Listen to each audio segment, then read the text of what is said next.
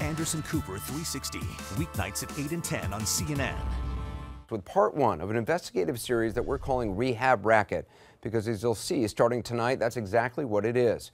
We're talking about the abuse of a state sponsored, taxpayer funded program that on paper looks like a noble cause. Privately run rehab clinics getting Medicaid money by billing for each addict who gets counseling.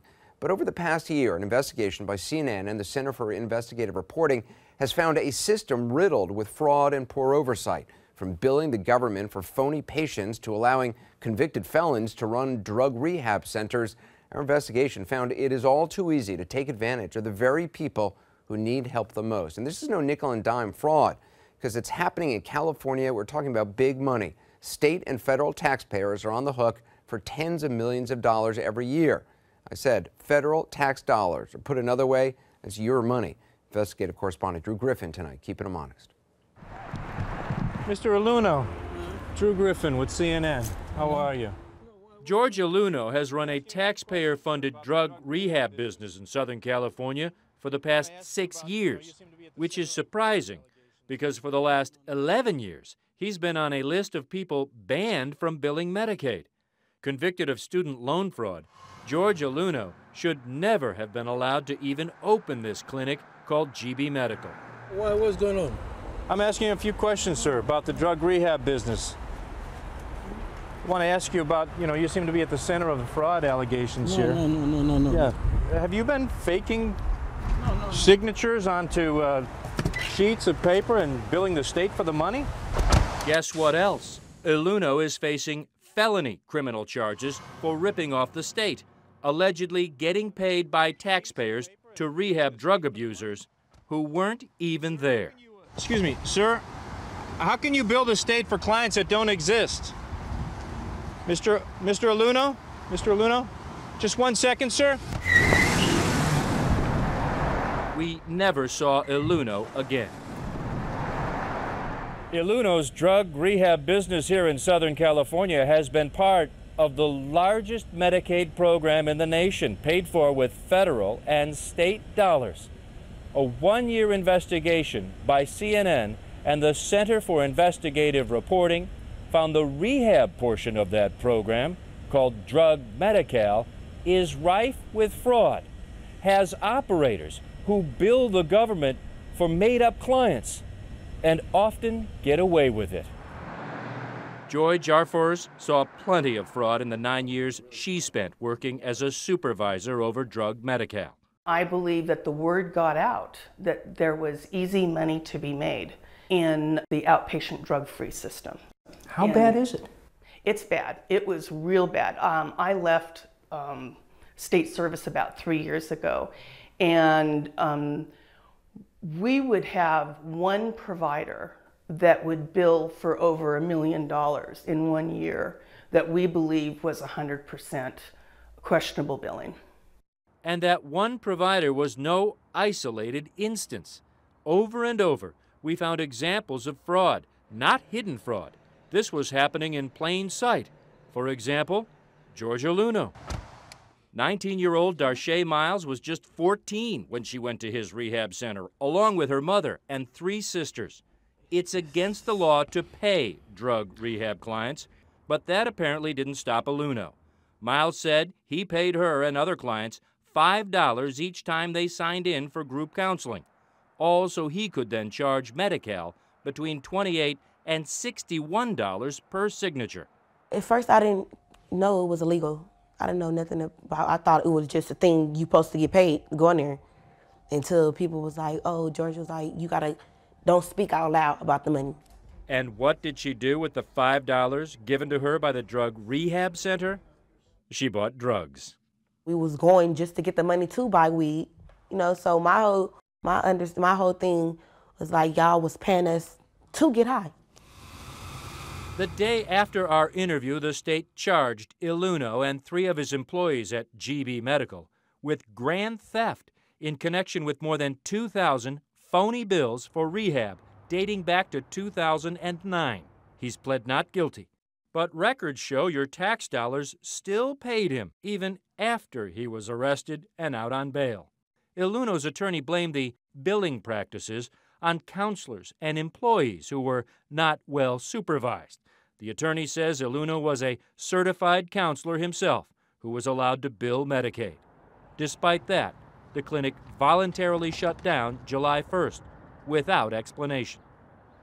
CNN and the Center for Investigative Reporting reviewed thousands of records in California's drug Medi-Cal program, including program audits.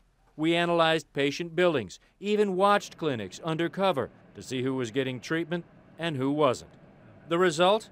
We found that in the last two fiscal years, half of the nearly $186 million spent for drug Medi-Cal, about $94 million, went to clinics that have shown questionable billing practices or signs of fraud.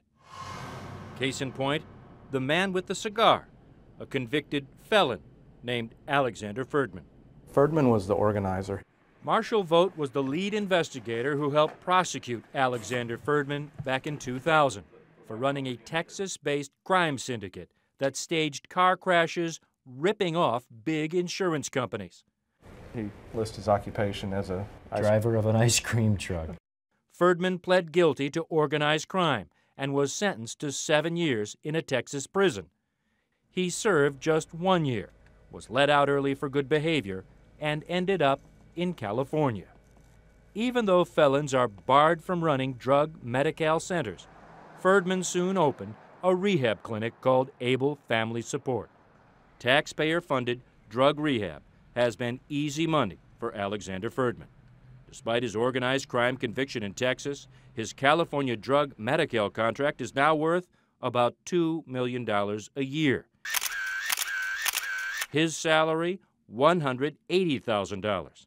Even after a 2011 review by Los Angeles County found evidence of what it considers to be fraudulent practices at his business, Ferdman was allowed to expand. Drew Griffin with CNN. How you doing? I'd like to ask you some Thank questions about your business, if I could. I really don't have time right now. Well, you can explain how can a guy with a record like you be operating a drug rehab clinic here in California? I mean, you've been This convicted in a, a- major insurance car crash scheme in Texas. I was convicted, but it's not what it seems. That's first of all. And second, whatever happened, I don't know, 15 years ago, uh, what relevance does it have to today? Does the county know about your criminal record? They probably do, I don't know. What happened in Texas, Ferdman told us, should stay in Texas. Because I was facing 99 years and I chose to, you know, pick a much smaller sentence without any of it because, you know, I could have a much worse. It's a, but there was no fraud and there was no uh, record of it in any way. Well, how, It's I a mean, very how could long story. That? That was a I huge. say that I- was a huge case in Austin, Texas, statewide actually. Yeah, that's what they tried to build it, but and that's why they pursued it. But uh, it wasn't what it seems and what they said it was. Could you tell me real quickly how you left Texas and decided to come here and get into this business? How easy or hard was that? I that? don't want to talk about it right now. So With such apparent widespread fraud in the program, former supervisor Joy Jarfors says it's not just taxpayers who are being cheated. I'm not a, um, you know, uh the employee anymore that has to look at this every day, but I'm a taxpayer that knows that this is going on, and it angers me. And there's story after story after story about Medicaid dollars being cut from people who need the services. It's an incredible investigation, Drew, and, and it's just so infuriating because, uh, I mean, there's a lot of people who do need help, and there's probably a lot of good clinics out there, and this certainly gives a bad name to, to, to the industry. Is the state doing anything about these clinics? Well, finally, they are beginning to state down. I, I, the state is cracking down. I think once they realize the depth of our reporting, Anderson, and that it would be aired nationally on your show, the state announced a statewide crackdown. Alexander Ferdman's clinic, the felon from Texas, his clinic has been shut down. 16 others been shut down. Shut down. 16 others temporarily suspended, and California has announced a statewide review of the entire rehab clinic program, although the details are a bit sketchy right now. Why did it take so long, though?